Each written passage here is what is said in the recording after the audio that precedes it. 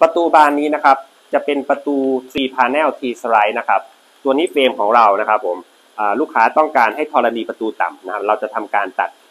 กระเบื้องนะตัดปูนเพื่อให้ธรณีสูงเพียง1เซนติเมตรนะครับ แล้วก็ให้ส่วนของอด้านล่างนะครับ เราจะให้ลึกเฟรมลึกลงไป4เซนติเมตรนะครับ เดี๋ยวต่อไปนะครับจะเป็นวิธีการตัดนะครับปูนของทีมงานของเรานะครับ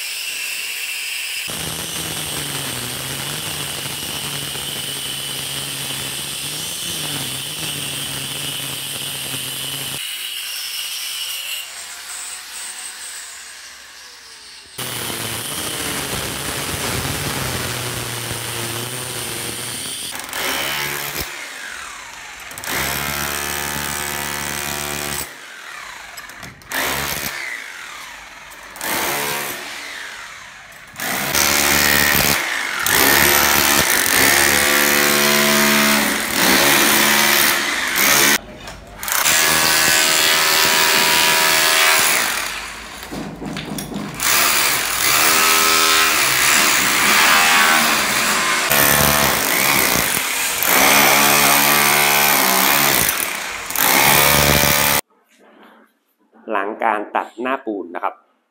แล้วเสร็จนะครับผมจะเป็นลักษณะแบบนี้นะครับ เดี๋ยวผมจะพามาดูใกล้ๆนะครับ ว่าเป็นลักษณะแบบไหนนะครับผม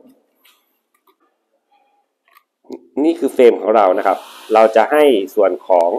เฟรมลึกลงไป4เซนติเมตรนะครับลึกลงไปลักษณะแบบนี้ให้ลึกลงไป4เซนติเมตรนะครับผมประมาณนี้นะครับ ให้ธรณีประตูสูง1เซนติเมตรนะครับ EP ต่อไปนะครับ จะเป็นขั้นตอนการติดตั้งนะครับ เฟรมและประตูนะครับ บานเลื่อนนะครับโปรดติดตามตอนต่อไปนะครับผม